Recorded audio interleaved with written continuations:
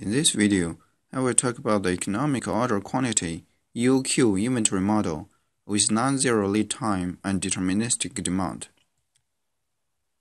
The lead time is a known constant number. We denote it with capital letter L. If the lead time is greater than zero, we will receive the products L years after the order is placed.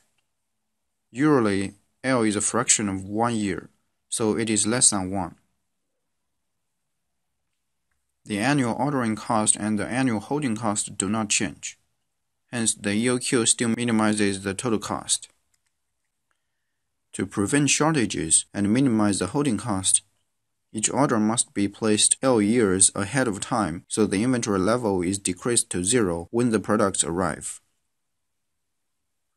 The inventory level Y at which an order should be placed is the reorder point. To determine the reorder point y, we must consider two cases.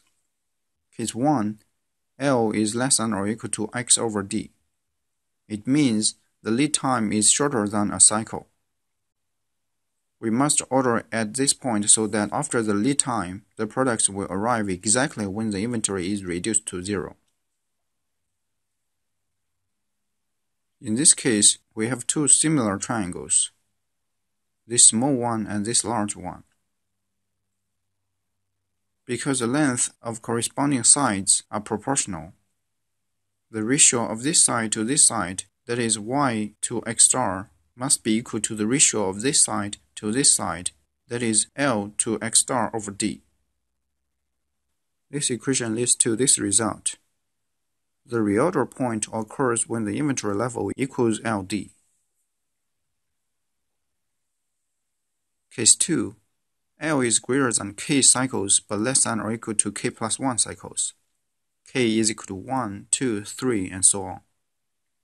For example, if the lead time is longer than 1 cycle but shorter than 2 cycles, k is equal to 1. We must order at this point so that after the lead time, the product will arrive exactly when the inventory is decreased to zero. Let L prime be the lead time that is beyond k cycles. In this case, the ratio of this side to this side, that is, y to x star, must be equal to the ratio of this side to this side, that is, L prime to x star over d. From this equation, we get this result. The inventory level equals L prime d. Let's revisit the car dealer example that was introduced in a previous video. The EOQ is 21.9 cars per order. The cycle time is 0.073 years or 26.7 days. If the lead time L is 1 week, 7 days, then the reorder point is L times D is equal to 5.7. It means when there are 5.7 cars left in the inventory, we need to place the next order for 21.9 cars. If the lead time L is 1 month, then K is equal to 1. It means the lead time is longer than 1 cycle but less than 2 cycles. After calculation, L prime is equal to 0.01 years. The reorder point is L prime times D is equal to 3.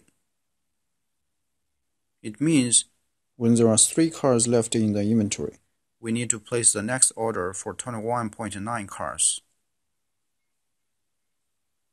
Okay, that is about the EOQ inventory model with non-zero lead time and deterministic demand. Thanks for watching.